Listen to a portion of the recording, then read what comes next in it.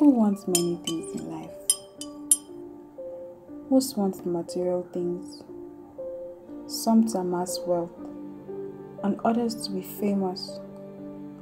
But I do not want any of such things. My wants are intangible. My wishes are minute. I just want to be able to breathe without experiencing pain as normal people do. And I as much wish to see my parents smile again. Funny how being denied the simple pleasures of life makes us appreciative of them. I am Ifedayo Johnson. I was diagnosed with leukemia some months after my 18th birthday. It was as if the cancer thought that since I'm now a young adult, I can handle it. Newsflash, I cannot. Not sure anyone truly can.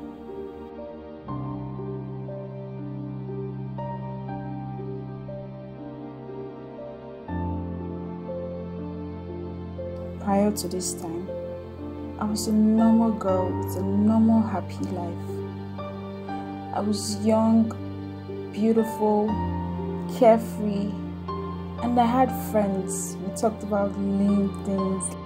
These times feel like a lifetime ago. Now, normal is a dream quite close, so out of reach. I read somewhere that cancer is an entity struggling to survive. In effect, you can't blame the cancer. It is also part of the body struggling to live. This gives me the idea that perhaps rather than researchers battling on how to find or kill cancer cells, they can produce drugs or treatments on how people can cohabit with it so that both entities can thrive and live harmoniously. I come from a very religious family, so when I started falling sick and losing weight, it was the work of the church to heal me. My mother, who is a pastor of our church, believed. My dad, however, is very pragmatic. He had at some point decided to pass my mother and took me to see our doctor.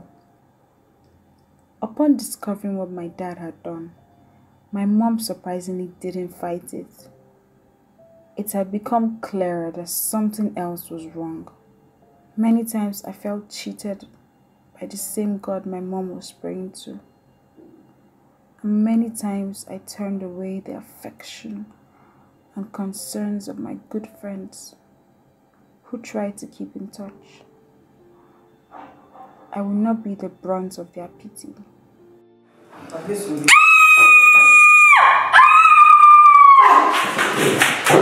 What's that?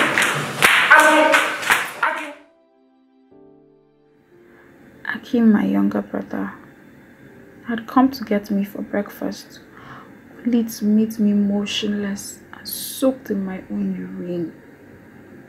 My dad came in too, and he was already crying.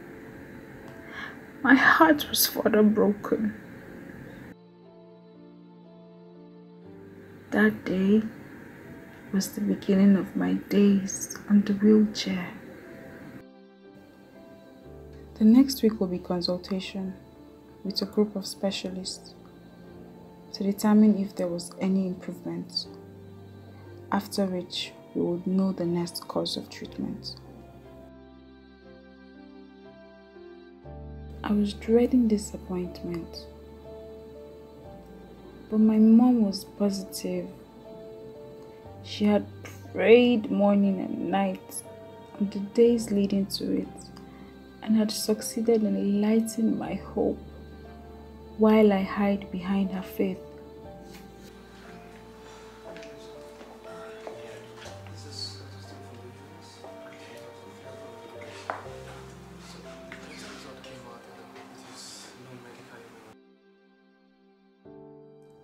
The doctor's findings didn't go our way. Chemotherapy wasn't working. The only solution was a bone marrow transplant, which was going to cost a fortune, and I would need to be moved abroad for it. As I walked away from my mother, all I wished for was for some grace. But in the last moment, my body betrayed me. Cried and cried while my mother, in her own tears, consoled me. She told me I would be fine. She told me I was strong. And she said that repeatedly. I wasn't feeling any better and I was deteriorating fast. It started to feel like going for the transplant would be an absolute waste of resources. That night, when I was alone, I brought out my stash of pain pills that were supposed to take me out of my miseries. But I couldn't take them. I couldn't do that to my parents.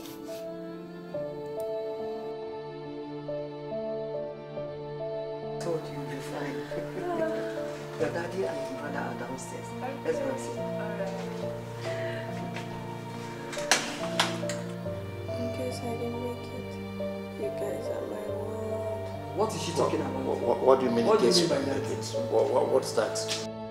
No, no, no, no. Listen, stop, stop, Ife? stop, stop. What are you stop, talking stop. What, what do you mean in case you Let don't us get a chance? No, no, don't talk like that, baby. Come on, come on. Yeah, don't talk like that. I love you guys. Yeah, We we love love you you too.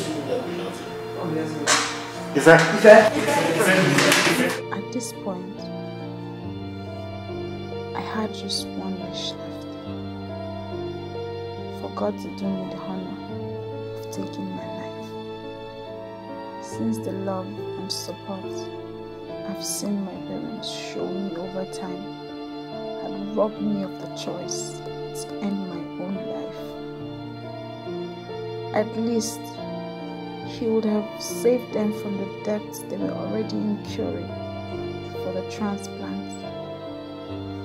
This was one more wish laid at the feet of God for consideration.